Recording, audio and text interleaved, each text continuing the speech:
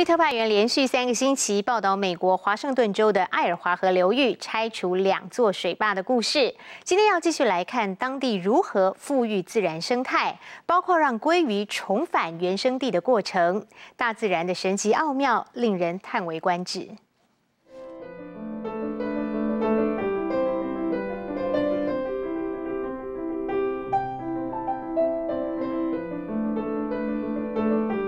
There are already trees in the reservoir that are taller than me, and it's, it's been less than two years since they started the dam removal. So I think that we will see a young forest regrow very rapidly, and it will be mostly native species.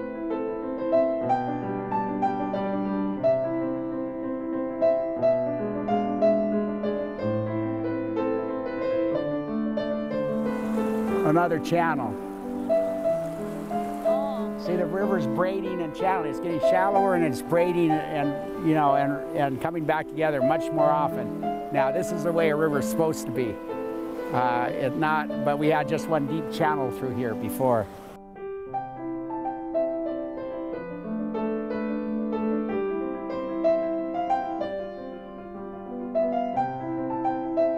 A pilot has three different sets of navigational tools that he uses to find his way across the Pacific.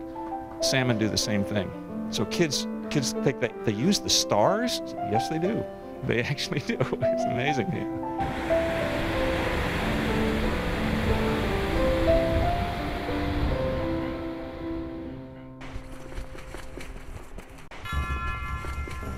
背着各种本土植物和树苗的工作人员大举进驻人工湖底。 爱华河大坝拆除后，大规模的植被复育行动也同步展开。Uh, scientists and biologists have come out here and collected seeds, collected cuttings from this valley, from this very valley, and then um, grown those seeds into uh, young plants that they're planting. 估计七年时间内，这儿要重新复育超过四十万株八十种不同种类的本土植物。We want to make sure that this is an ecosystem restoration, so there's a lot of um, time and energy going into um, preventing uh, invasive plant species from moving in. Uh, so we're um, trying to get rid of uh, non-native species and also introduce um, native species.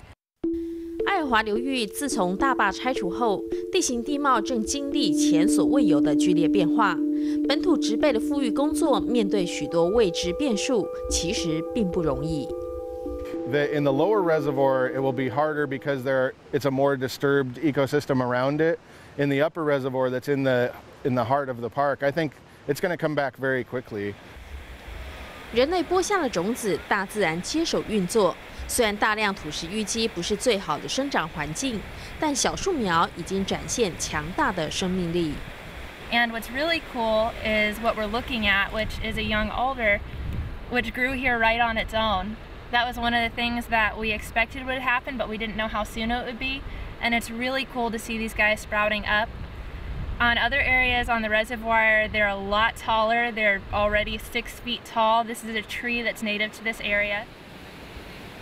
长期以空拍记录地形地貌变化的科学家安迪说：“这就像一片森林在你面前形成。” We have watched the water draw down. Uh, the vegetation is is springing up, and some of the web cameras that you can look at online show, you know, it's it's almost like a, a young forest appearing before your eyes. 华河流域植物富裕大军仰赖许多志工参与，其中很大一部分是印第安部落年轻人。他们组成的队伍经常在附近巡逻、施肥、除草，小心呵护这片失而复得的部落宝地。The Elwha tribe is very, very good in natural resources. We've had a uh, habitat restoration crew working on the streams on the North Olympic Peninsula since 1992. We're very good at teaching our children the importance of taking care of the resources. 复育的重点当然还有鲑鱼。过去新建两座大坝，让鲑鱼群数量锐减。现在爱华河正在重新孕育适合鲑鱼群的生存环境。See the different channels over there, over here.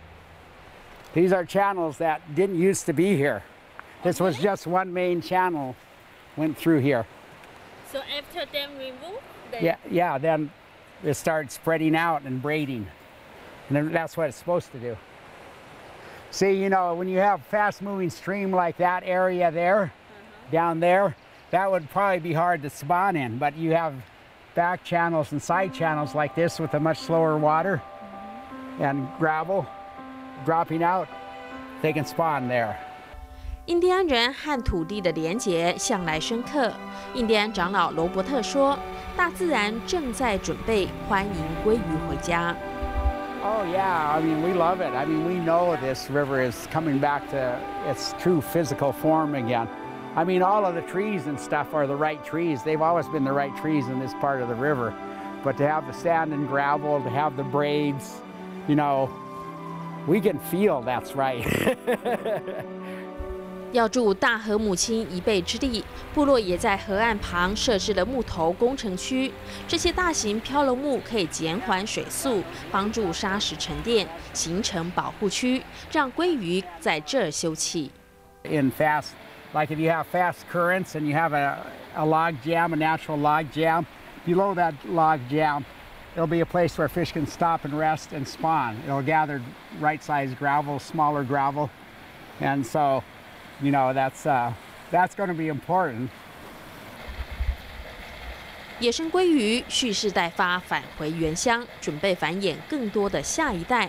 不过，因为目前爱尔华河的水质太过浑浊，部落也有鲑鱼养殖场，富裕濒临绝种的鲑鱼。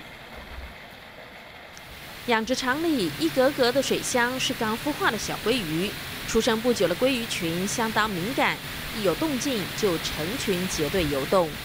Okay, this is fish food right here, and you can see them start bubbling to the surface as you throw it out there. This is to raise them to a certain size, then we move them outside into the bigger race. These are Alwa steelhead. Alwa Naturals run steelhead. So then And, and they're raised entirely in fresh water until they're adults, and then we spawn them. And it's a way to preserve the runs with the high sediment loads in the river. And these are the only ones we raise to adults because they're endangered species, and it's back up because of the sediment in the river. 透过自然鲑鱼洄游和人工养殖，罗伯特希望能够重温以往鲑鱼丰收的时光。 Fishing spots. We have other places upstream, but these are the most productive fishing spots. And this is where we fish. We have at least a half, six fishing spots that rotate among tribal members. We spend about two days at each spot, and so like 12 days completely at all six spots during the fishing season, and then different people rotate in to the fishery because you make quite a bit of money when there's a lot of fish coming in. And um, some of the biggest runs we've had are probably six to 8,000 fish. With the river restored, we accept run, expect runs of 30,000 fish. 过去鲑鱼数量锐减，甚至濒临绝种。部落主动提出了禁止过度捕捞鱼群的协议。未来鲑鱼逐渐富裕后，罗伯特希望年轻人可以和鲑鱼一样，重新回到部落。 doing what we did before, which is make a living fishing. And this, um, the fishery, the return of the fisheries in this river will allow uh, a, a large increase in tribal income because we are allowed to harvest half of the harvestable fish. 两座大坝拆除，重现爱尔华河流域生命力。而鲑鱼历经一世纪的返乡路，也启发了许多人重新思考自己与自然环境的关系。 华盛顿州政府也决定拆除历史最悠久的鲑鱼孵育场溪流上方的水泥坝。 And they get to this place, and most of them die here because they can't get past it. So now we got a million six hundred thousand dollars from the state government last year, and they're going to knock this down and they're going to replace it with a series of boulders, big rocks that will have different levels so the fish will be able to jump over them, rest a little bit, jump over the next one, and then move on. 虽然水泥坝体很小，但兰迪说，要不是拆除爱尔华两座大坝的启发，他们争取多年的经费很难通过。这座鲑鱼富裕场主要养殖银龟和奇努克国王鲑鱼，现在正是工作人员最忙碌的时候，他们要忙着帮刚孵化的鲑鱼剪鱼鳍。And what they're doing, as you can see with these little tiny scissors, is they're cutting that fin off every single one of the more than 2 million fish that we will be putting in the creek in the next couple of days. So after this is done, the, uh, the fish are then put in the creek and sent on their way.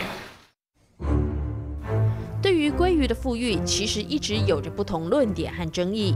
二零一二年，有环保团体控告克拉拉姆部落和联邦机构的鲑鱼富裕场，认为他们以人工养殖濒临绝种的鲑鱼来加快富裕的脚步，反而会危及野生鲑鱼群的健康还有遗传多样性。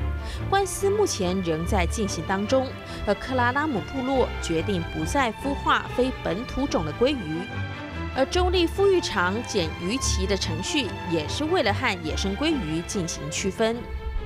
Regulations say that if you catch a hatchery fish and it's missing this fin, and you know it's a hatchery fish, you may keep it.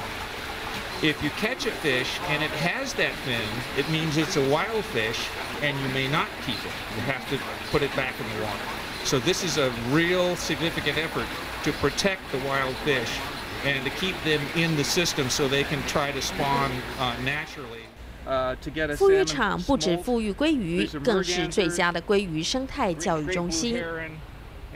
Swim thousands of miles all the way up here to southern Alaska, and they stay there for three or four years, and then some signal goes off in their head that says it's time to go home and make babies and die. So they turn around and they retrace the journey all the way back, and they find from Alaska, they find the exact spot where they were born. And that is a, a feat of navigation. 兰迪说：“如果有人把他丢在阿拉斯加的路上，要他找路回家，他肯定迷路、失去方向。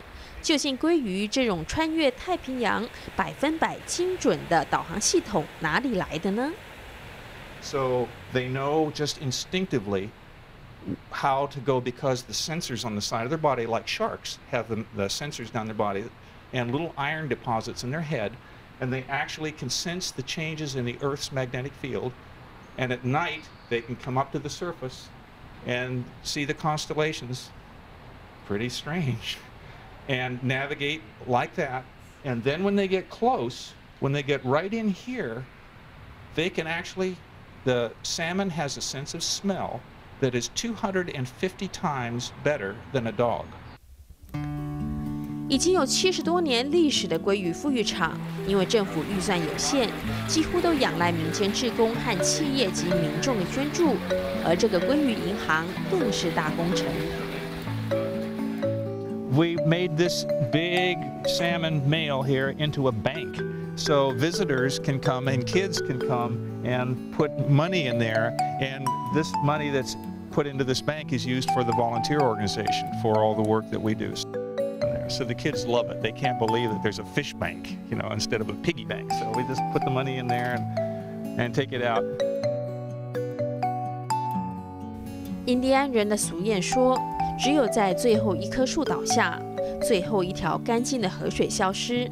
最后一条鱼被捕获后，人们才知道钱不能当饭吃。千百万年来，爱尔华河的河水潺潺不停，鲑鱼群世世代代回游返乡。曾经，他们默默承载人类新建两座大坝的功与过。百年来，时空流转，坝起坝落，浴火重生的爱尔华河和鲑鱼群。正重现与生俱来的生命力。